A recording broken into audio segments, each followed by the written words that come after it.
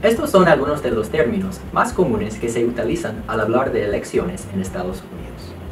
Asamblea Pública o Town Hall Meeting se trata de un espacio para que los candidatos a cargos públicos respondan preguntas.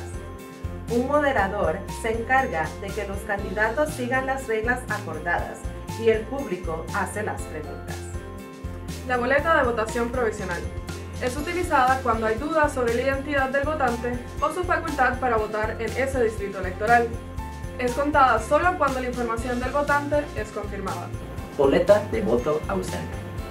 Es presentada por un votante que no puede asistir al centro de votación el día de las elecciones. Usualmente son presentadas por estadounidenses que viven en el extranjero, sirven en las Fuerzas Armadas, están de viaje asisten a la escuela en un estado diferente al de su residencia legal. Caucus, o asamblea de partido, es una asamblea de miembros del partido en la que se toman decisiones. Son reuniones a nivel estatal que se realizan en años en los que se celebran elecciones presidenciales. Los miembros de un partido eligen a un candidato al que apoyarán o eligen a los miembros de un comité de nominación estatal. Colegio electoral. Es el proceso que los estadounidenses utilizan para elegir al presidente y vicepresidente.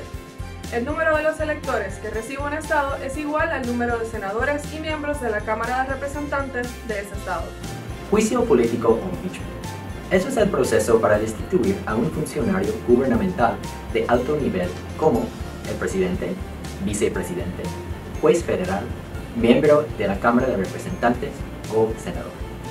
A nivel federal, la Casa de Representantes investiga y presenta los cargos para un juicio político.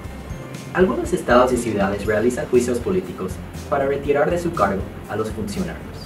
Otros estados permiten que los funcionarios sean removidos a través de una elección de destitución. Si te gustaría conocer más sobre el proceso electoral de Estados Unidos, visita la página web usa.gov en español.